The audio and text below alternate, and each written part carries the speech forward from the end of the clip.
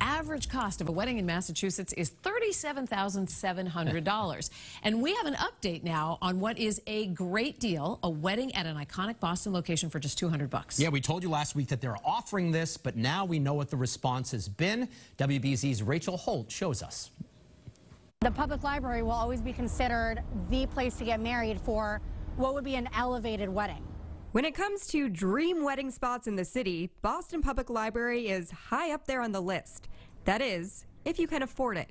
We host a large number of weddings here after hours, and, and it's there's quite an expense to that as well to host a, a large full wedding reception here. The Historic Library is now offering a new option for couples on select Mondays a small one hour ceremony for $200. We wanted something that was much more financially attainable for the general population of Boston. Since the offering was announced last week, 50 one hour ceremonies have been booked this summer.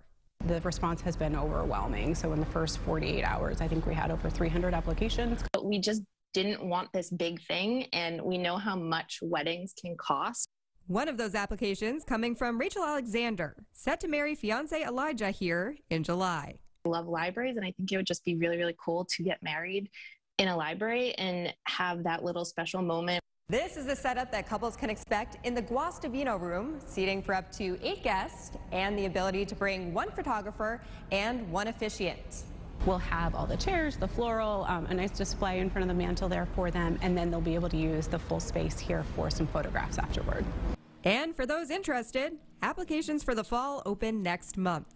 That gives the opportunity for a lot of people who would never have even entertained this location. Rachel Holt, WBZ News.